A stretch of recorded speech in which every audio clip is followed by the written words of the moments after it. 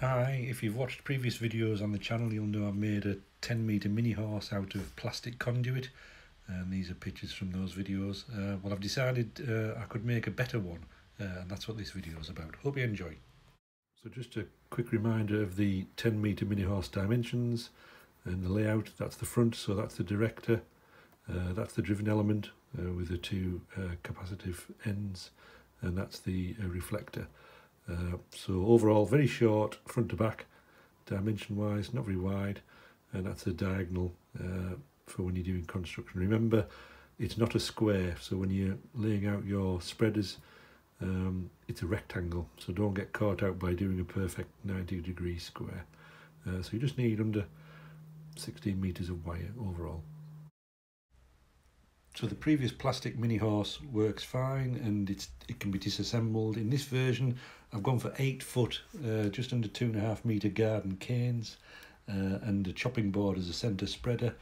Uh, and here you can see me laying out the canes on the floor, uh, lining up the canes on the chopping board and then drilling uh, for cable ties. And you can see I've drilled a hole through the centre of the board. Uh, that's to take the top of my mast. So here we see the Mark II mini horse taking shape. I haven't trimmed the canes yet, I've left the, uh, the excess in place. Uh, I've used the same wire from the previous version, uh, just attached it in the same dimensions as I showed earlier.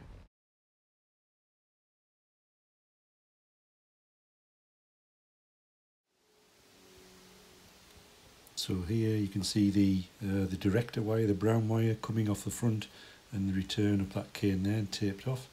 Uh, goes along this front there to the other cane uh, so just replicated on the other side. Uh, here's some fishing line that supports the end of the driven element. These are the two capacitive ends and again that cane supports the, uh, the driven element going to the centre. Uh, moving back to the Yagi, some more fishing line just to keep that side tensioned.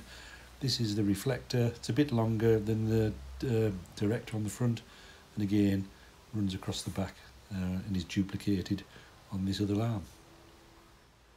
And here we can see how straight and level this cane version of the Yagi is. It stays nice and flat under tension and there you can see the three wires all in rough alignment. There's a little bit of sag but it's uniform across them all. Uh, it's minor. Uh, so lovely uh, flat pattern uh, compared to the plastic version. Now there's probably different ways of doing this but I've used these brackets to hold the chopping board onto my mast. Uh, they were spare in the toolbox, so I've bent them round, bolted them onto the chopping board, used this hose clamp, uh, the Jubilee clip to clamp onto the pipe.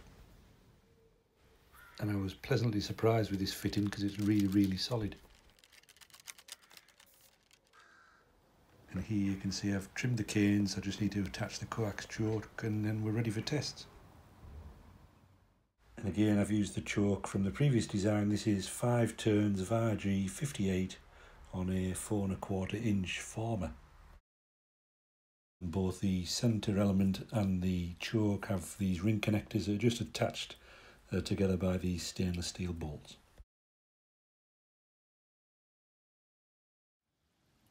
And here I've got my portable mast setup weighted down with water bottles in the rear garden just for some tests.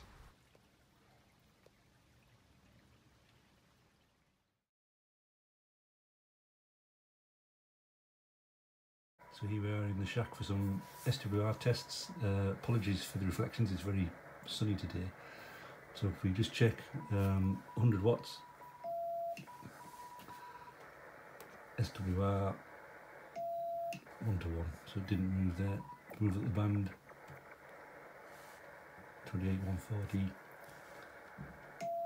1 to 1 again, up into the all mode and SSB, still 1 to 1 there's this is B stations. Still one to one. Get up to about 29. Still one to one. Above 29. Still one to one. 29.3. Yeah, it's starting to rise there. So it's 1.2. Uh, and it'll rise from that point onwards. Up near the FM calling frequency there one and a half, which will still tune in with your rig's tuner. So, or well, at, at least a megahertz with of one-to-one SWR, so success.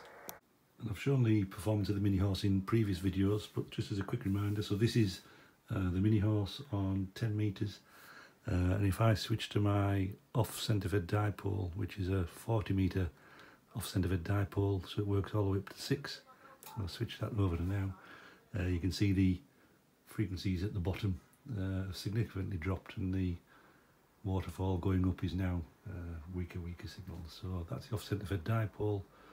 If I switch, if you look at the bottom line, if I switch up now, and there's all the other signals coming back. Uh, so significant difference. Just another view. This is again the mini horse. I'm pointing southeast uh, towards Europe. Uh, so if I swing the beam uh, right the way around to northwest, so I'm pointing the opposite direction, uh, you'll be able to see the signals drop off. So that's through south.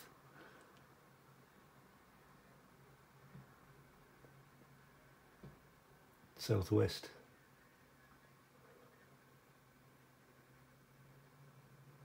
And you can see um, some of the nulls kicking in there, look. Uh, significant drop off. Um, that's pointing west. So if I come back round to southeast, and again, if you look at the bottom line, coming round now. Uh, this is southwest again. There's a null there, you can see all the signals dropping off.